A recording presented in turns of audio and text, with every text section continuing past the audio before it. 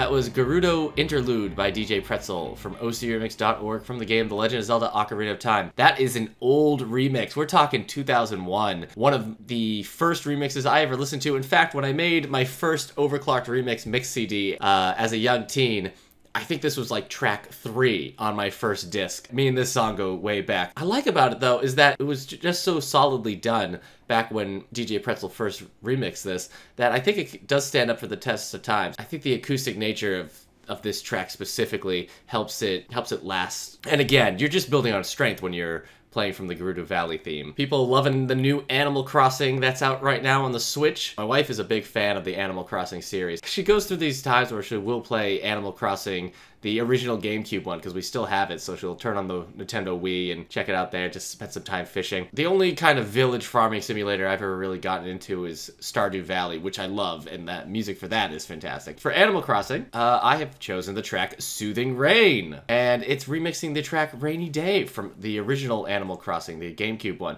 This comes off of the album Esner's Dream, which is a lullaby album of remixes, which is a really lovely album of gentle, lulling remixes of game tunes. This is Soothing Rain by Jamphibious from ocremix.org from the game Animal Crossing.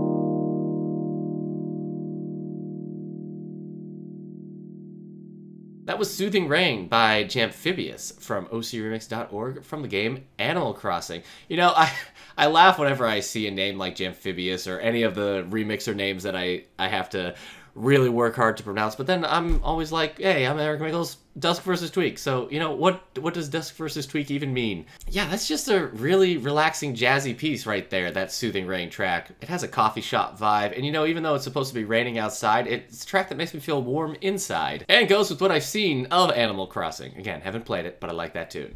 The Metal Man theme is probably my favorite theme from Mega Man 2. I I mean, if there if a gun was to my head and somebody was like, "Your favorite your favorite track from Mega Man 2, go." And I was like, "Why are you doing this? What what what events in your life have pushed you to go to random people, put a gun to their head and say, "What's your favorite track from Mega Man 2?" After I get that answered, I'd probably say Metal Man.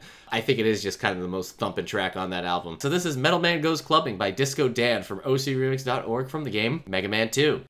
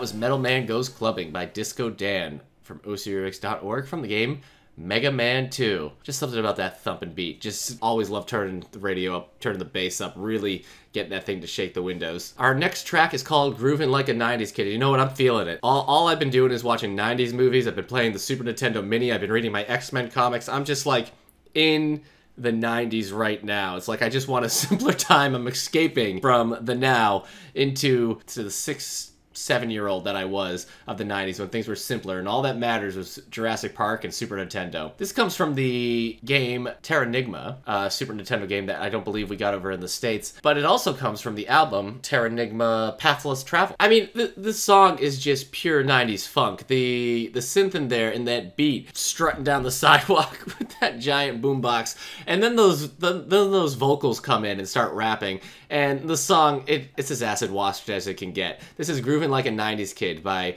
Jorito, Gnegon, Galek, Juan Medrano from OCRemix.org from the game Terranigma.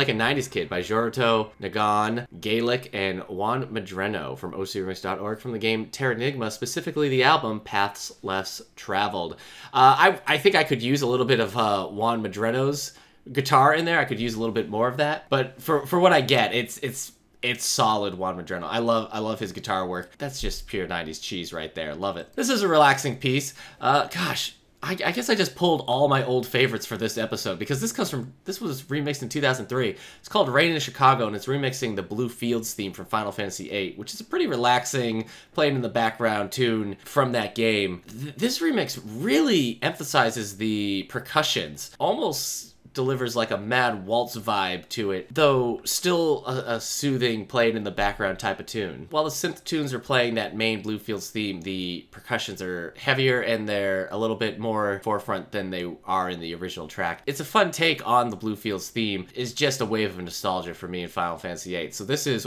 Rain in Chicago by Ziwtra from ocremix.org from the game Final Fantasy VIII.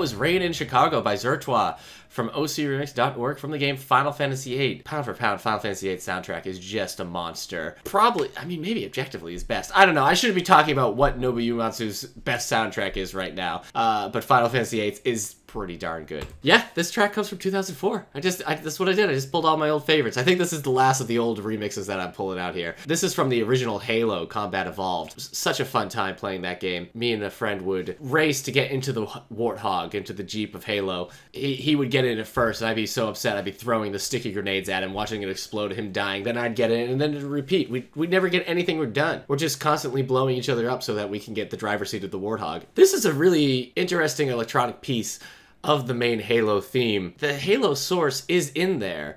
I've always found the soundscape of this song to really emphasize the feeling of space in there. A lot of echo, strange textures going on in the song. It's called Fall From Above, You Can't Stop by Arkimedes from ocremix.org from the game Halo Combat Evolved.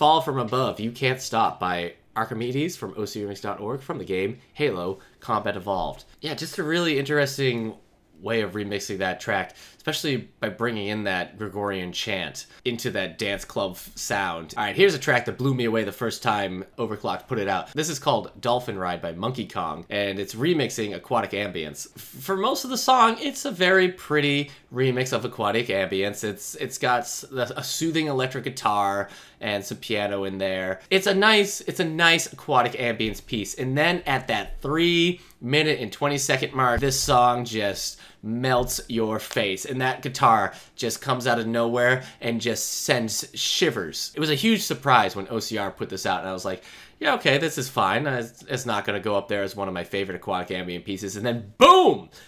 Electric guitar punches me in the face. This is called Dolphin Ride by Monkey Kong from ocremix.org from the game Donkey Kong Country.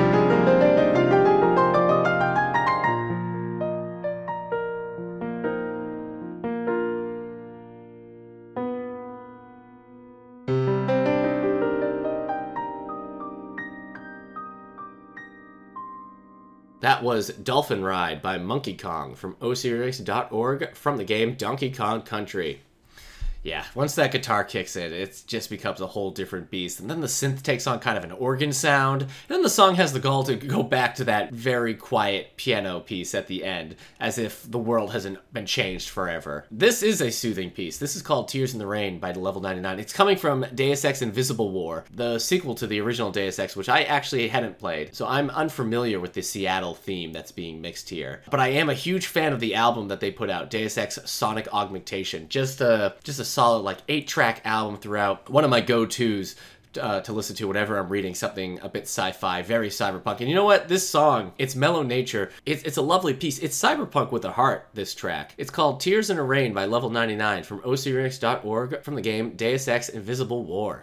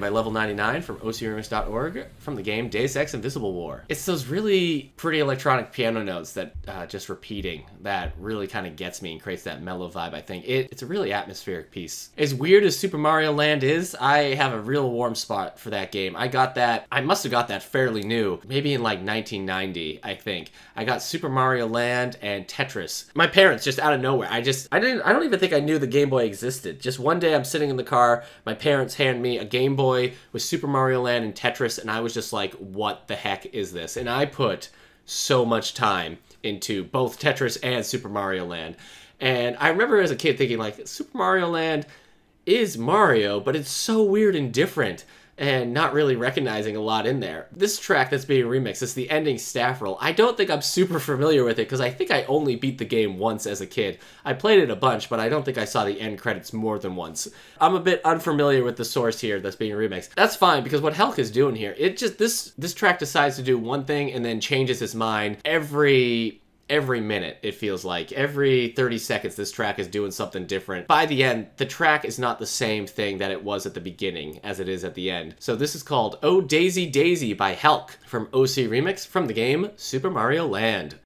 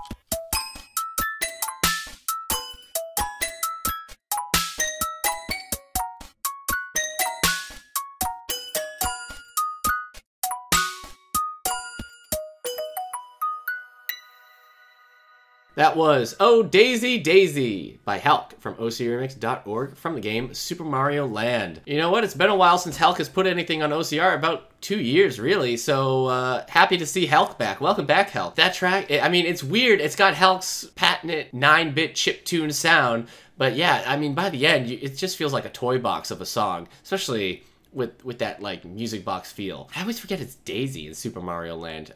I mean, it was Daisy Super Mario Land and Super Mario World. She was having a moment, Daisy. All right, that was the last track of the episode. Thank you for listening to Radio 64 Video Game Music Remix Radio. I have been your host, Eric Mikols, also known online as Dusk vs. Tweak. Radio 64 is part of the Radio Meanwhile network. Visit radiomeanwhile.com for more information about this and other great podcasts. Share your thoughts on this episode and request music by following the show on Facebook or Twitter at Radio64Pod. Please rate, subscribe, and share this show on Apple, Spotify, SoundCloud, YouTube, wherever you get your podcast. I'll see you next episode.